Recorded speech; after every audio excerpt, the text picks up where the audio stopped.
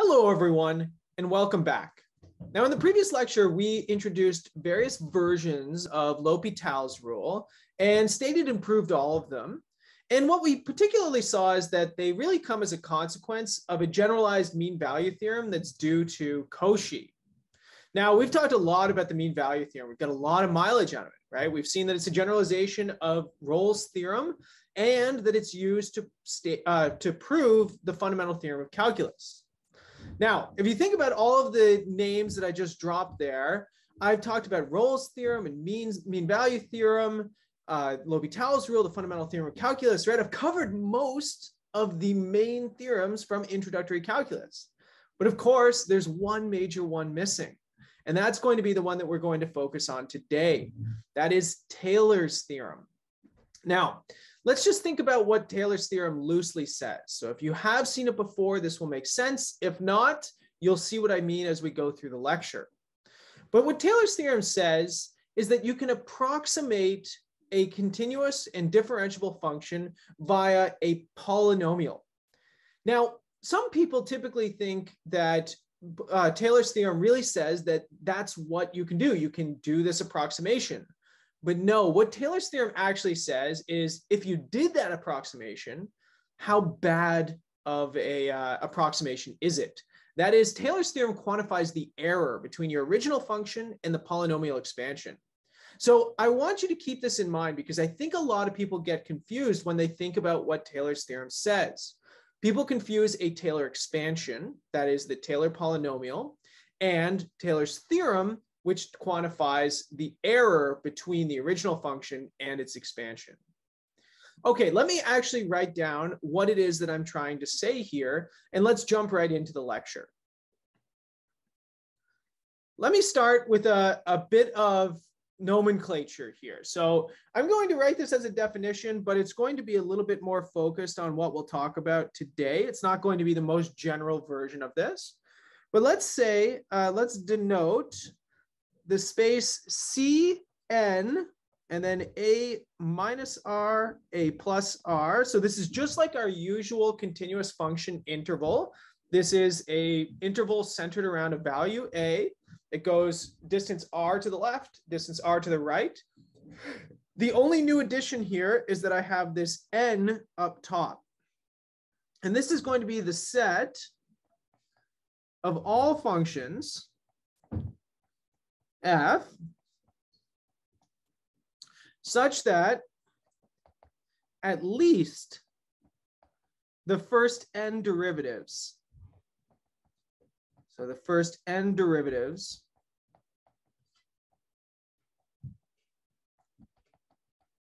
uh, of f are continuous.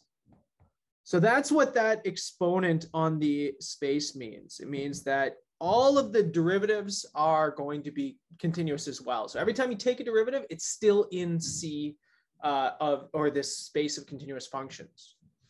And so really what this means is that thus, you know, the kth derivative is in the space of continuous functions on this interval for all, uh, let's say, zero less than or equal to k, which is less than or equal to n. And the zero here is just meant to be the original function. The one represents the first derivative, two, third derivative, and then this k term up here is the kth derivative. Okay, now let's imagine we have a function from this space and remember, uh, what Taylor's theorem is trying to do is trying to approximate by polynomials. So let's imagine we have an nth degree polynomial. So we want to do something like this. So we want to say, I have a function and I want to approximate it by a polynomial where I have a constant term C0. I have a linear term C1. I have maybe a quadratic term C2 and so on and so forth. And this is going to be n, uh, this is going to be in Cn, so it has n derivatives. So that's going to be the power that I'm going to go up to in my polynomial expansion. This will make a little more sense in a few moments. But what I want you to draw your attention to immediately is that all of my polynomial terms are actually centered around the center of my interval, right? So remember, f belongs to this interval that is centered around A. So what I'm doing with my polynomial here is centering it around the center of my interval. R just tells me I've got wiggle room to move on either side. And in fact, if this thing was actually going to be equal, so let's get rid of this for a moment. And let's imagine this is actually equal, okay? So uh, this is just imagination for now, but we could ask ourselves, you know, what would the coefficients be? These C0, C1, C2, right? Because we haven't chosen them yet. Well, I can put X equal to A into this, let's say, and this tells me that f of A is just equal to C0. Why? Because every other term is centered around A. And so that means that all of the X minus A terms are going to disappear. Okay. Well, then I can do the same thing with the derivative, right? So I can take f prime of A. And in this case, I'm going to, the C0 term is going to disappear because it's constant. I'm going to be left with C1 plus 2C2, x minus a, and so on and so forth. And I've got all of these terms that have x minus a in them that are going to disappear when I put x equal to a in here. And so I get that the first derivative at a is also equal to c1. Okay. Now, if you tried to take a guess without, if you haven't seen Taylor series before, you would probably guess that this is going to be uh, just C2, right? That's sort of what the pattern is spelling out. But you have to be careful because there's this exponent up here, and we know that when we differentiate, it comes down out front. So actually, if you take two derivatives, this is going to be 2C2. And if you look at the third derivative here, you're actually going to get 3 coming from the third exponent. Then that exponent turns into 2 and that's going to come down as well. And then the next one is one, which we're not going to put in. And so C3, which is the same as three factorial times C3. And in general, this would give us that my, say, nth derivative at A is going to be n factorial and then times Cn, right? So this would be uh, going all the way up. Okay, so then this means that I can write my coefficients. I can rearrange for this.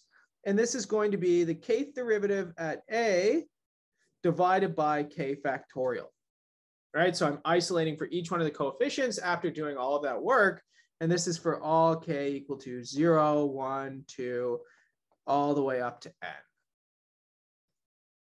Well, this leads to our first definition, right? This polynomial is what we call the Taylor polynomial. Like I said, I think sometimes people confuse Taylor's theorem with a Taylor polynomial. So I don't want you to confuse these two things. So let's start with the polynomial here. So we define the, let's put this in red, the nth Taylor polynomial. The nth Taylor polynomial, and this is going to be P for polynomial n for the degree. This is going to be that sum that I wrote up above, and I'm going to write this in complete generality. So I'm going to use the large sum notation. This is the kth derivative at a divided by k factorial, and then x minus a to the power of k. So if you just write out that sum, it's going to be the same thing that you saw uh, right up here. The only difference is now that I've defined what C0, C1, C2, etc. all are. And of course, this works for all F in my space Cn, right? So my n times differentiable functions.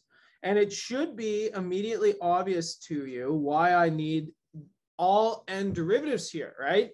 Because if you look at that expansion, well, I'm taking at least n derivatives. So I need to be able to know that these derivatives exist and we need continuity of these things. Okay, so like I said, Taylor's theorem, Taylor's real result is an approximation result. So what we could do is we could say, well, I know that f of x certainly doesn't necessarily equal to this, right? That might that might not be the case because f might not be a polynomial.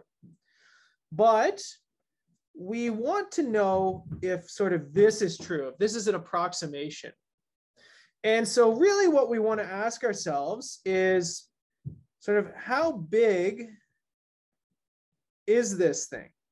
The difference of my function from this polynomial. That's the question that we want to ask ourselves. And so the first thing that you might ask yourself is, you know, why would we want to do this? Well, if you do anything on a computer, uh, what we can do is we can quantify deviation from, say, what could be a very complicated function, say sine or cosine or e to the x. And as long as these two things are close, so the original function and its Taylor polynomial, that means that we can just work with a polynomial. And polynomials are great, right? We spend most of high school learning about polynomials and working with them, and and even you know into uh, into college. So we're probably pretty good with polynomials. And so this is one of the advantages that Taylor's polynom or that Taylor polynomials give us is that, you know, as long as we can actually do this approximation, now we're working in familiar territory. Now we're working with polynomials and life is good. So the question is, you know, how do we actually quantify how big this is and, and how can we guarantee that these things are actually good approximations? Well, this leads to Taylor's theorem. So let's take a look at this. Taylor's theorem. Okay, so let's say if f, the, uh, the n plus first derivative of a function f exists uh, for all x, in the interval, and we're going to use that same interval we've been using over and over. So centered at A with a little wiggle room. Then we write, okay, then we write, or sorry, then we have, I should uh, be very, very precise here. It's not writing, it's the, you know, we have this exact relationship, Pn of x plus, and now we write Rn of x. This means remainder so we can write the original function as the Taylor polynomial plus a little leftover. Now, if you rearrange that, that remainder is the error that I just said we're interested in.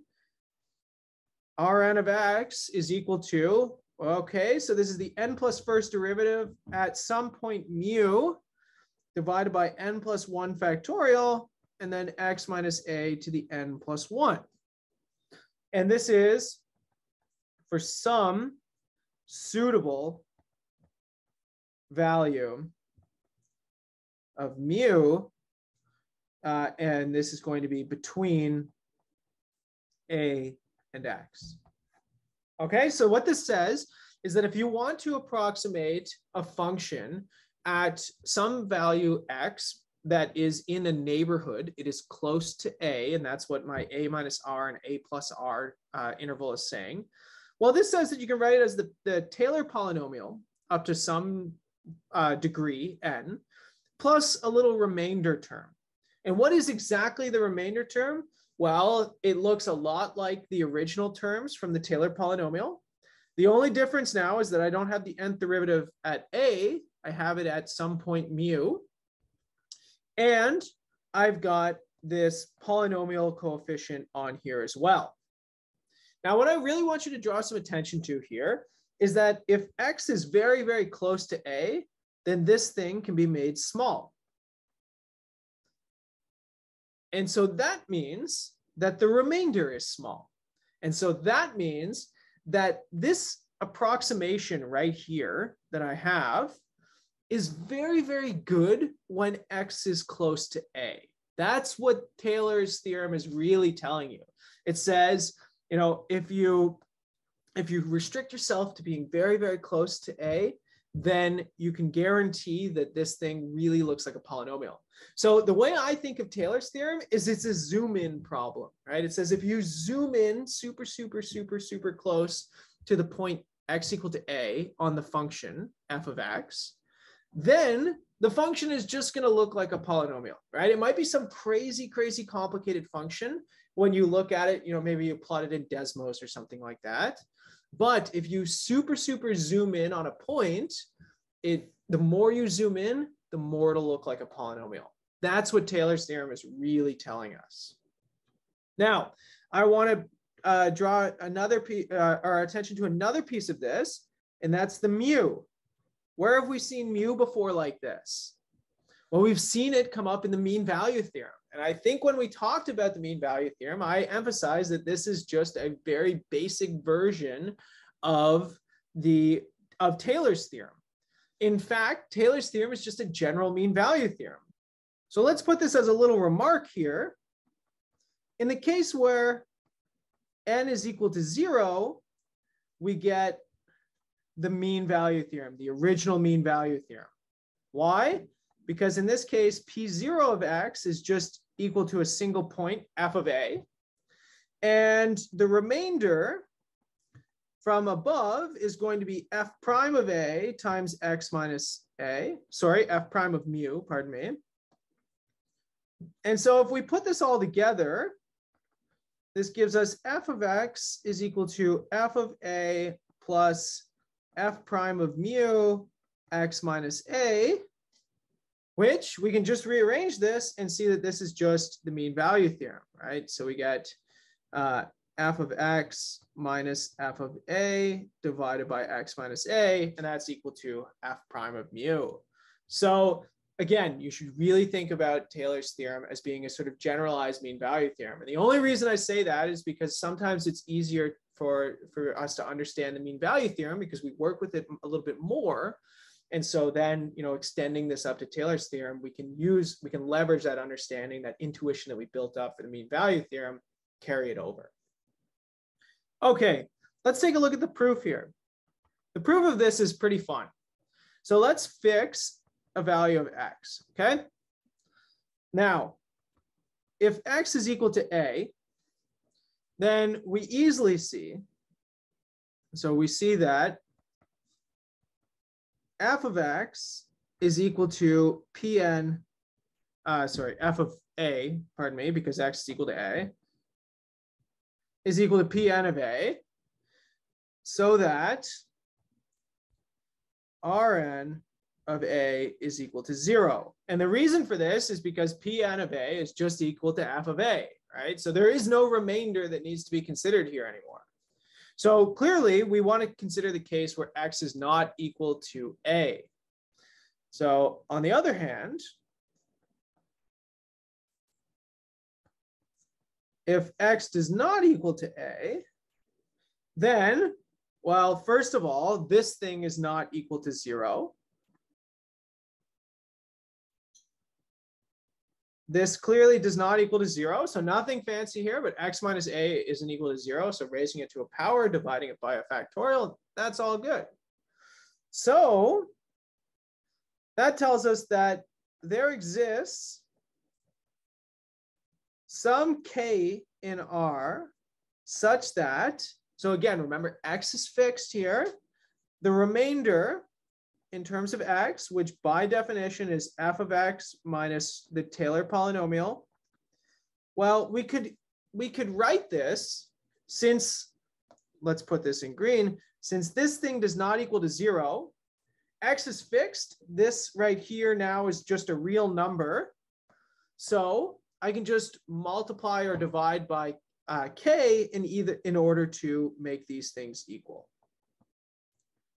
So for example, imagine Rn of x is equal to three, and I know that my green star up here is equal to two, then my k would just be three over two, right? It's just whatever I need to multiply in here to make this thing equal. But what this says now is that I need to show that k is the n plus first derivative at some value of mu, right? That's what essentially we boiled down proving uh, Taylor's theorem to be. So the question is, how do we do this?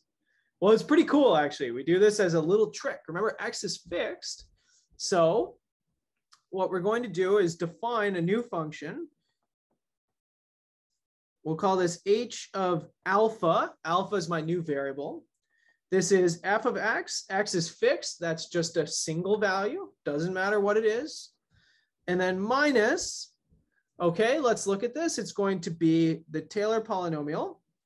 So k equals 0 to n, the kth derivative at alpha. So I'm letting my a value vary a little bit here.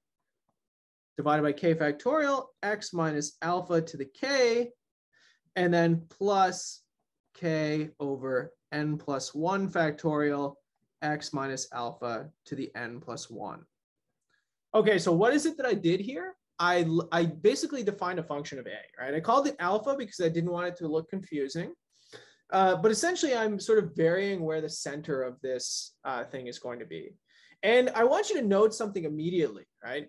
A lot of the proofs that we've been doing lately look very, very similar. And that makes sense, right? Because they're all just sort of the mean value theorem over and over and over, right? The Cauchy's generalized mean value theorem did something similar. The fundamental theorem of calculus did something similar. Even the proof of the mean value theorem does something very similar. It just uses Rolle's theorem. So, you know, we have all of these very, very abstract results that sort of, you know, when you interrogate them in, in terms of looking at the proof, they sort of collapse into being very, very similar. So let's take a look at this. So if we set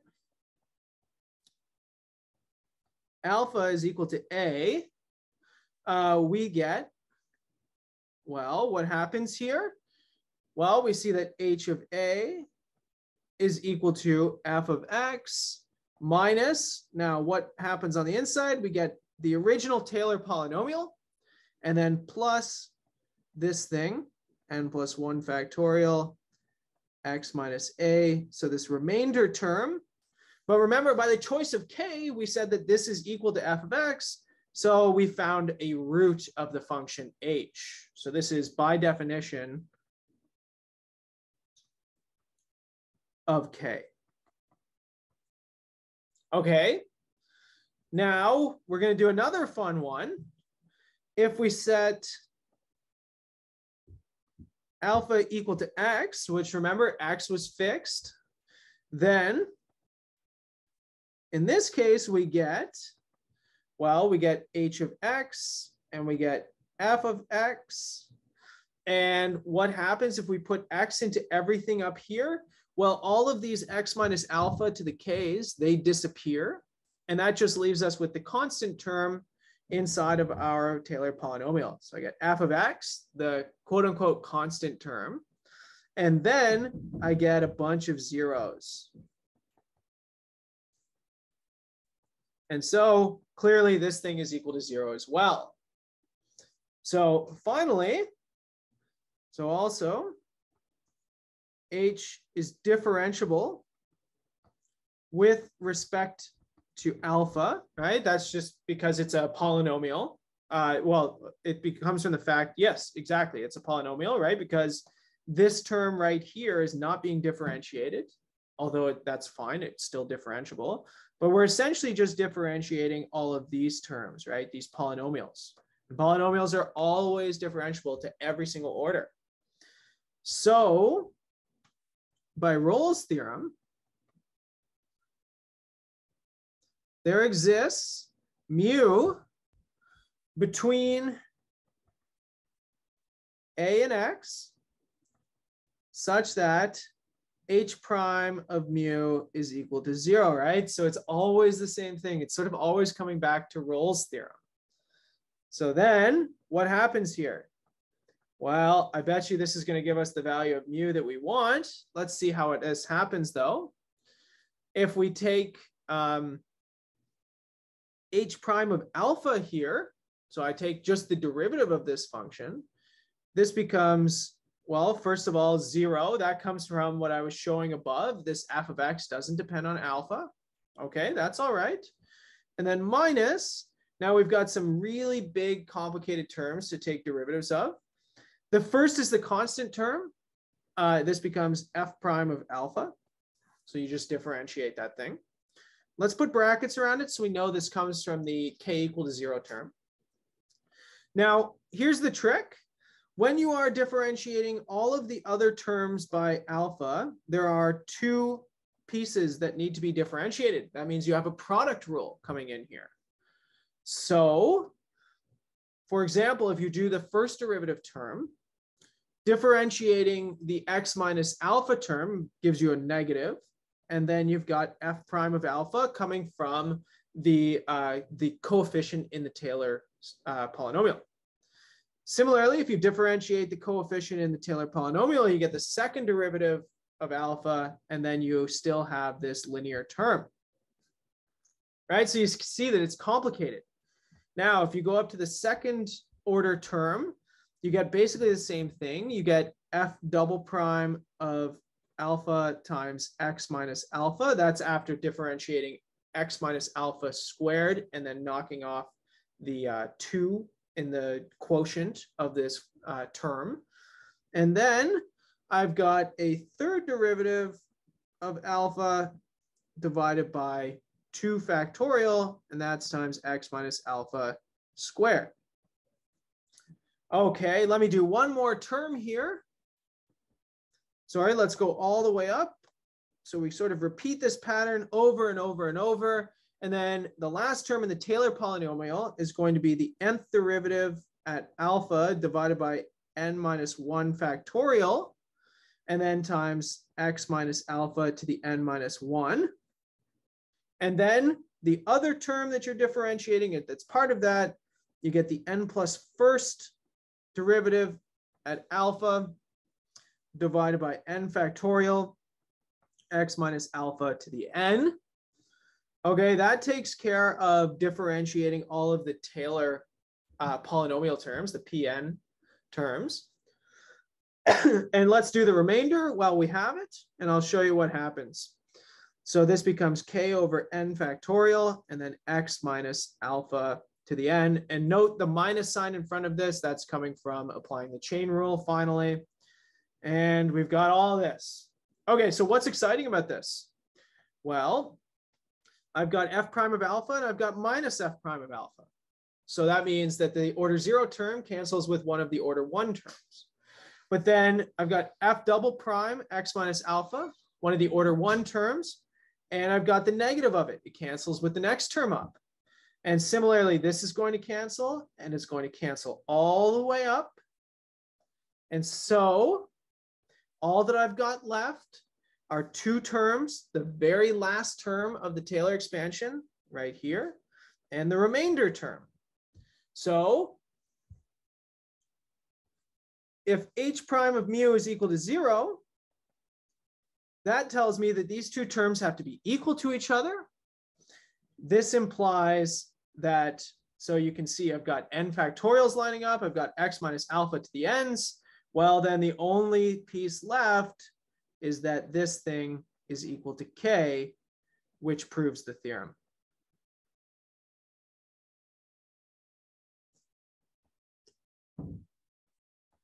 So it looks a little complicated. It's a little hairy, right? Because it's kind of weird. We're used to taking derivatives in x, and here we have derivatives in alpha. But if you can get past that, it's really just the same process over and over, right? It's the application of Rolle's theorem, right? You find two points that are equal you say the derivative's zero somewhere in between there, and then, you know, boom, everything sort of follows by calculating out where the derivative is going to be zero.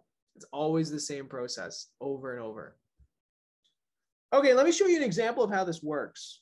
Okay, so as I said, the great utility of Taylor's theorem is that it allows you to uh, sort of approximate really, really complicated functions by functions that are simple, polynomial functions, right? I love polynomial functions. I can work with polynomials all day. So let's say, let f of x equal to e to the x. And let's write, well, let's write f of x is equal to the Taylor polynomial of degree n plus the remainder term here. Uh, and we're going to write this in powers of x, which is x minus zero, which means that we're going to center ourselves around zero. Right. So this is a very common thing. We, you know, that I always I like to joke that mathematicians only have two numbers they care about, zero and one. Well, zero is a nice number to work with. So we're going to make this simple on ourselves. So we claim that this function Rn of x goes to zero as n goes to infinity. So the remainder goes to, goes to zero at every point in x. So what does this actually tell you? Well, it tells you that if you want to approximate e to the x, just use a high enough polynomial. Because eventually, if you have a high enough term, you know, the remainder is going to be so small that you won't be able to tell the difference, no matter where you are next right? So remember I told you Taylor's theorem is a zoom in theorem. And in our case, it, this would say zooming into zero. But because we have that explicit formula from Taylor about what the error actually looks like, the remainder, we can go, we can say that we can super zoom out here and we can do this for the entire real line. So for example, I could approximate e to the 0.1 with a polynomial, or I could approximate e to the 100 million with a polynomial, or e to the negative googol, for example. All of that is going to work as long as I prove this claim. And so what this really says is something you might be familiar with if you've ever done infinite series, but essentially this says that e to the x can be written as this infinite series that looks like this of 1 over k factorial, e, uh, sorry, x to the k. And so again, this is just using Taylor's theorem. Your, all of your derivatives of e to the x are just e to the x over and over. And then so e to the zero, that's e to the a. And so that gives you the one in the uh, coefficient here. And this is for all x.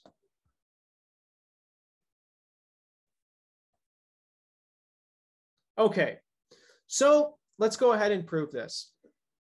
So what's the proof of the claim? Well, here's what we'll do. So it suffices, so it suffices to show that for all x,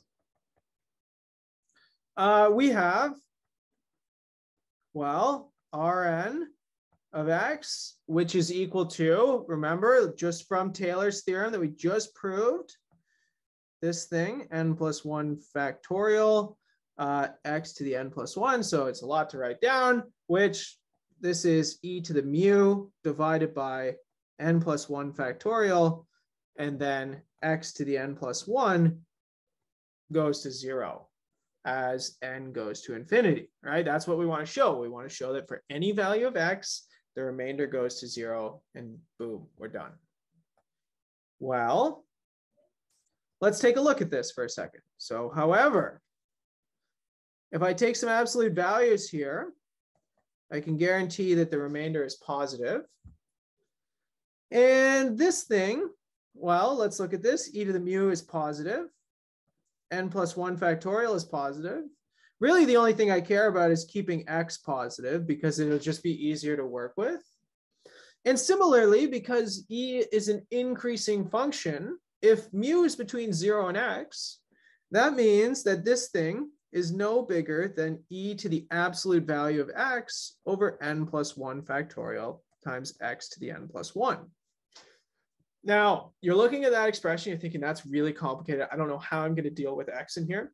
I have great news. We don't care what X does, right? We care what N does. X is fixed.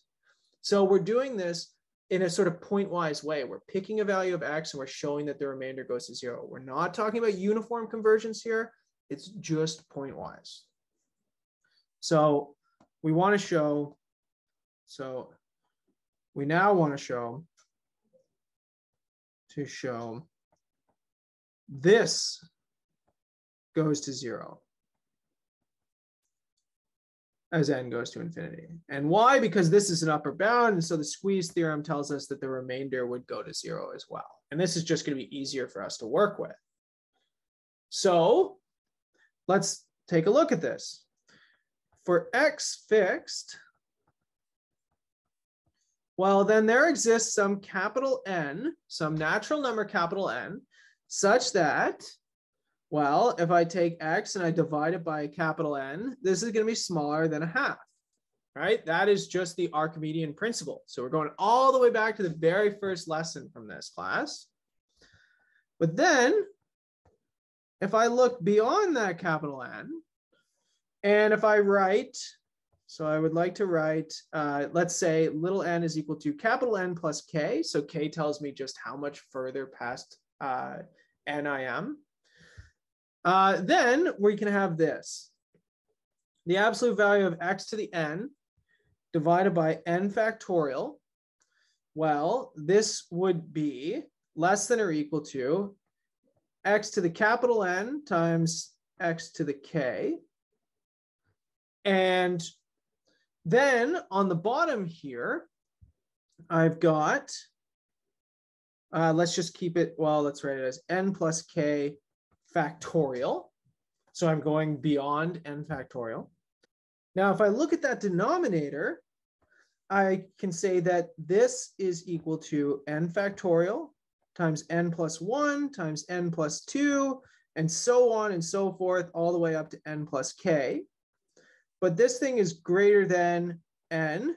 This is greater than n. All of these are greater than n.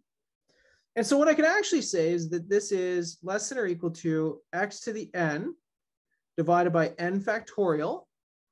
Now capital N is fixed. We can do whatever we want with this piece. And then I've got x to the k divided by n to the k. So that is one term coming from this, one term from this, and so on and so forth. And there are k of them. So let's say k terms. So that's where the end of the k comes from. And I've got this inequality satisfying that. But then this becomes this piece right here that's fixed, 1 over 2 to the k, letting k go to infinity drags this thing down to 0. Now notice that letting k go to infinity, which is the that thing is the same as letting little n go to infinity, right? So the only difference here is that I'm starting uh, k at zero, whereas I'm starting little n at capital N. But therefore, Rn of x goes to zero as n goes to infinity, which shows us that that Taylor remainder term goes to zero for any fixed value of x. So again, you want to figure out what the value of e to the 100 million is, well, you can just calculate when your error is going to be small enough uh, using the Taylor theorem, right? So you can calculate exactly what that error will be. Uh, and then you just take n high enough to guarantee that the remainder is sufficiently small. So for example, if you want maybe three decimal places of accuracy, you take the remainder smaller than 10 to the minus three. And then you expand out your Taylor polynomial and put in x equal to 100 million or whatever the number is that you're interested in. Okay, so today we talked about one of the biggest, most important theorems in all of calculus. And I know that it sort of feels intangible talking about these Taylor polynomials sometimes and these approximations by polynomials. Uh, and it feels like maybe it's not as important as I'm making it sound that would be incorrect. That would be a misconception, right? If you study uh, anything in analysis beyond this, or anything in differential equations, partial differential equations, etc., numerical analysis, then Taylor polynomials are going to be your life. They come up all of the time, and the big reason is because they they transform really complicated functions into ones that we can work with, polynomials, things that we love.